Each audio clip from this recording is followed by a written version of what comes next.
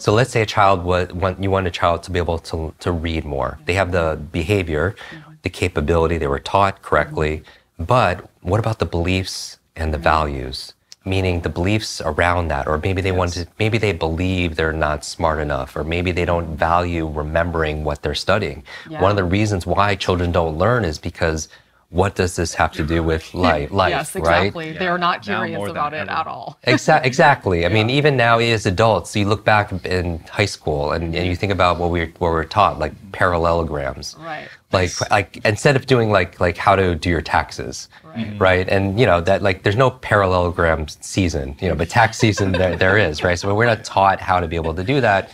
And so part of the the values is relevancy. Uh-huh. You know, taking information that a child's learning and, and showing them how they could apply it towards their life. Uh-huh. Yeah. So beliefs and values. Like even when we teach people how to remember names, maybe for example that's the behavior, and maybe they're even taught how to remember names, mm-hmm. but maybe they don't value remembering someone's Oh, name, or maybe they believe that they have a horrible memory. Mm-hmm. So all behavior is belief driven. So that needs to be addressed. Mm-hmm. And then the level above belief and values are this level is this level called identity. Mm. Like who does that child think that they are?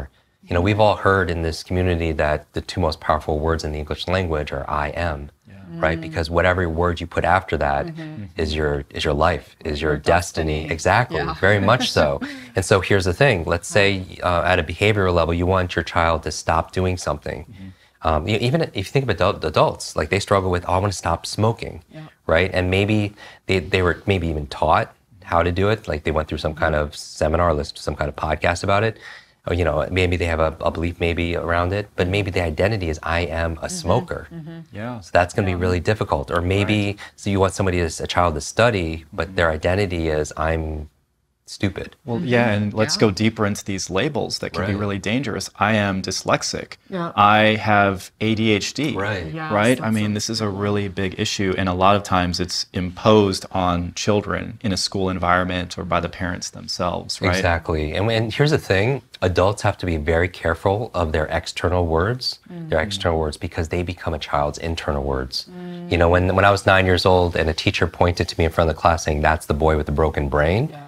That became my inner speech. So every single time I did badly on a quiz, uh, which was a lot often, every time I wasn't picked for sports, I would always say, "Oh, it's because I have the broken brain," and that became my inner voice.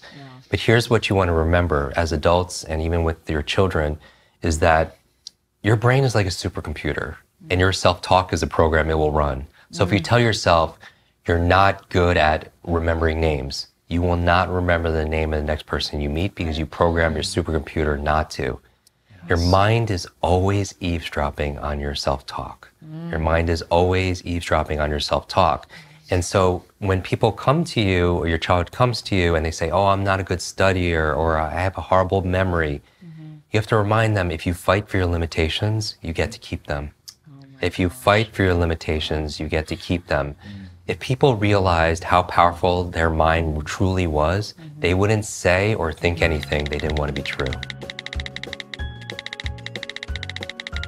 I think a lot of relationships in general, but especially new parents, kind of beat themselves up and Yeah. it's not working and this is supposed to be perfect. And for us, we really, it's how we look at it. It's like, okay, cool. This is going to be an opportunity for growth. This is going to be an opportunity for us to learn more about each other, to learn more about each other's boundaries and preferences, and really kind of just dive deeper into this so we can become a better foundation for our son. Mm-hmm. And that context changes the whole game mm-hmm. because if we're like resisting the communication challenges, then there's no way you can come out of that because mm-hmm. you're already making it wrong versus going, ah, this is interesting. We have an opportunity to grow and to learn and to really come together in a deeper way. I think what's most important in all of it is is just stepping back into the room. Mm. And and I mean that literally and metaphorically and energetically. I think that um, back to this idea, this fantasy standard of always getting it right and always having things working.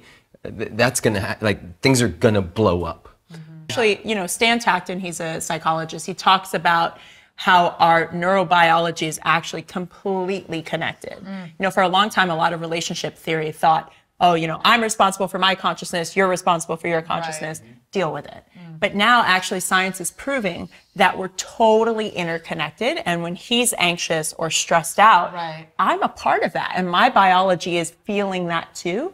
And guess what? Our children are no different. Right. Mm-hmm. So our children are feeling our anxiety, our stress, our frustration. They're feeling when we're stuffing it down and sweeping it under the rug. Mm-hmm.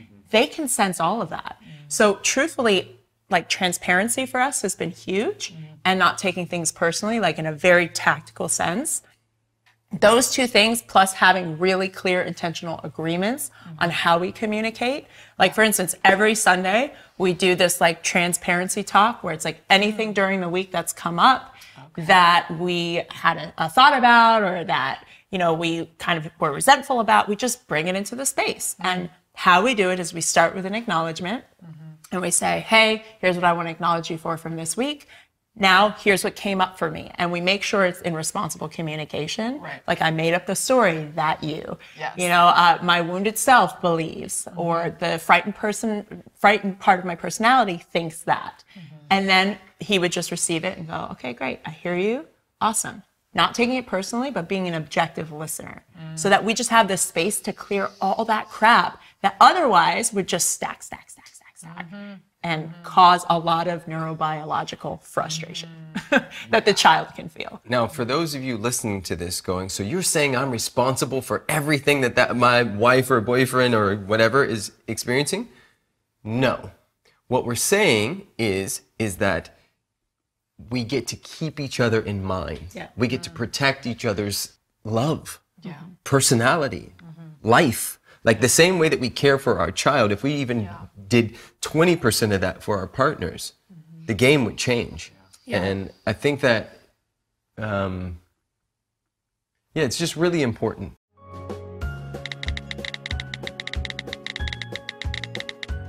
Yeah, and I want to start by saying that uh, these, uh, you know, invisible secondary losses are more catastrophic for teens um, and children than it is than they are for adults. So when a when a when a teen has a breakup um, and you know they they spent time with that friend that, that that they were in a relationship with, and all of a sudden that person goes and rejects them. Um, I would be very concerned if we didn't um, emphasize and validate and acknowledge the, the depths of loss that your child is experiencing. Um, I am going to uh, come across as dramatic in this part because I want to make sure that uh, parents are aware that suicide is um, is very present at this age. Um, when there is a breakup, when there is bullying at school, I've had parents write to me um, hard things about the suicide of their children. They didn't know, um, they were not aware of the losses, the bullying, the rejection, the abandonment their child was experiencing at school. Um, these losses are so invisible that the child will do everything they can to appear normal That's right. Or stronger. or strong or that everything is fine, that they have this social life, um, that the, and, and, and, and in um, the breakup conversation, um, m- most parents would say, don't worry, sweetheart, um, you'll meet someone, there's plenty, you're young still. We, we say things, I have said these things, we all say those things. I have made that mistake as well. But for them, that is their whole world. Oh, that is everything to them. Mm-hmm. And I always say divorce or separation or breakup is like death, but it's like the person is dead for us and alive for everyone else. Mm. Mm. Wow. Yes. Mm-hmm. And I've said this to a lot of people who have been divorced and separated and say, the person is supposed to be dead for you. You're not allowed to have this person in your life. Mm-hmm. But you see them with that person and that person and mm-hmm. that person. You're not allowed to go there, which is even worse mm-hmm. and more painful than anything else. Talking about death, loss, and disappointment with your kids should not be avoided. In fact, it provides a wonderful opportunity to bond with your child. Your child is going through an emotional experience that is strange and even unsettling. Make sure you don't dismiss their experience. Validation is crucial at a time like this.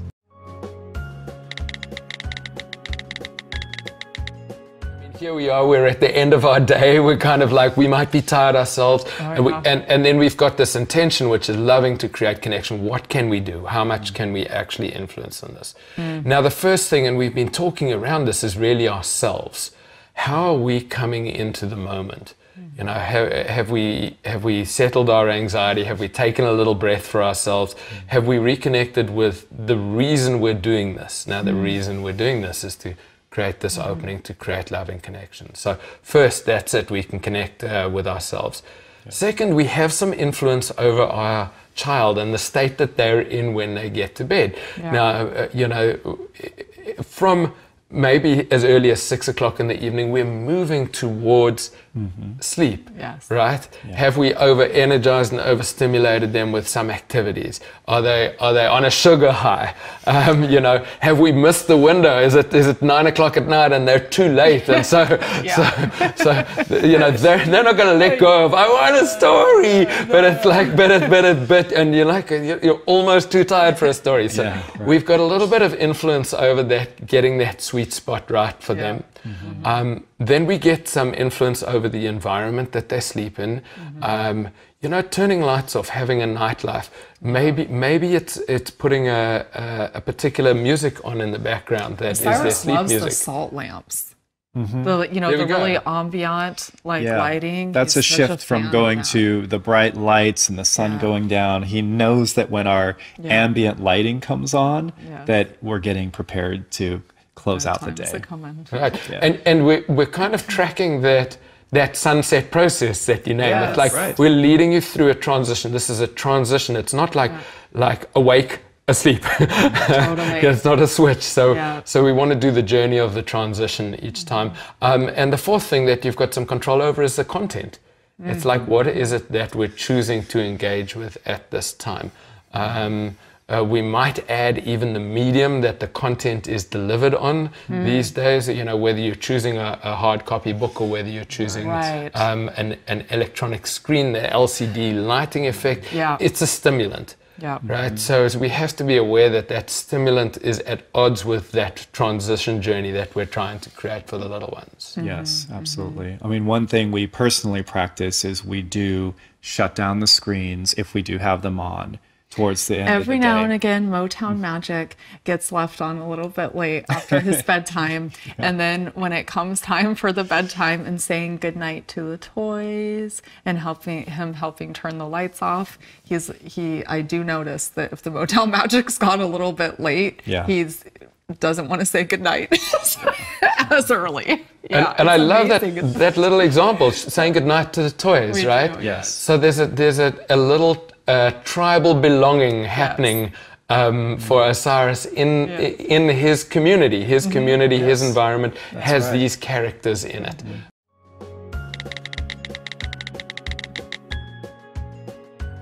name it to tame it, right? Name your emotions to tame your emotions. So, this is a very basic practice that you can do outside of the moment.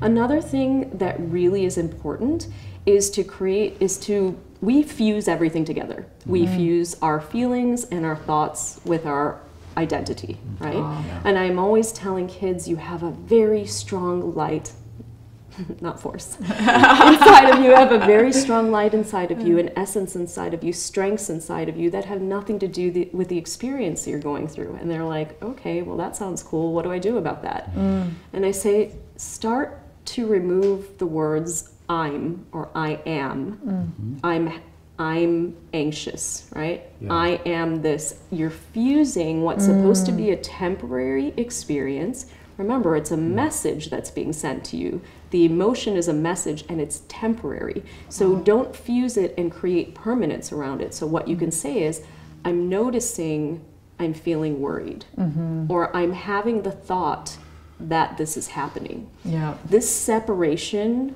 this defusion, right, in, in psychological terms, they call it cognitive defusion, is simple to do and very powerful.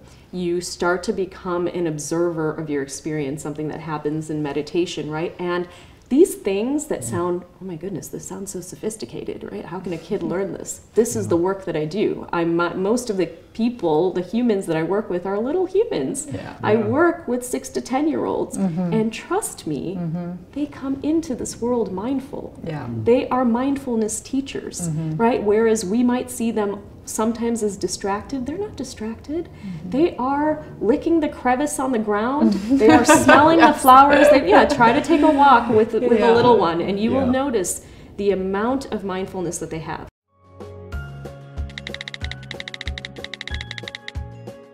me how do i raise a happy and successful child how do i raise a healthy child how do i raise someone who's self-actualized in their life well one minute how can you possibly teach a child or raise a child or create an environment for them to become those things if you haven't cracked that code for yourself mm. yet? The key mistake that we make is misunderstanding our role as mm-hmm. parents, just misunderstanding the job description. And I think the most elegant and eloquent, um, you know, kind of cohesive outline of this is Alison Gopnik's book, The Gardener and the Carpenter. Mm. And I won't do it justice, but what she outlines is the difference between being a gardener and a carpenter. Mm-hmm. And basically, our, our kind of modum operandi of parenting in, in this culture is a carpenter role. A carpenter takes a chunk of raw wood mm-hmm. and has an end game in mind. He knows that this raw wood is now going to become a chair, right? And he's going to work and mold and carve and shape and nail and hammer at that wood, sand it clean, yeah. smooth it finish, and put on the polishing layers until it looks exactly like the other three chairs he's just created. Yes? Yeah. This is the factory line parenting, right? Mm. And we all are products of the industrial revolution yeah. and industrial era. So we all think of many processes in terms of efficiency, productivity, and lemons, right? Oh, this one's a lemon. This one came out wrong. Yeah.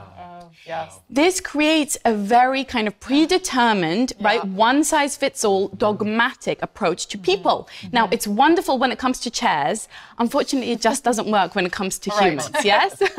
right. we want our chairs to be flawless, yeah. but humans are complex. They're complex organisms, complex systems, and there are many different factors that go into what makes a human quote unquote successful. Right. And the biggest factor, in my opinion, which we're missing is self definition of success. Mm. What does it mean to be successful for you? What yeah. does your child view as successful, right? Mm-hmm. And so I think misunderstanding our role as a factory line worker or a carpenter who's working on a product, and if that product doesn't look exactly the same as we've predetermined it to look, or as the spec, right? Then we have a lemon, right? Then we need to medicate that person or put that person in therapy and all sorts of tutoring yeah. and shape them and prod them until we can fit them into the box. Well, this is super stressful.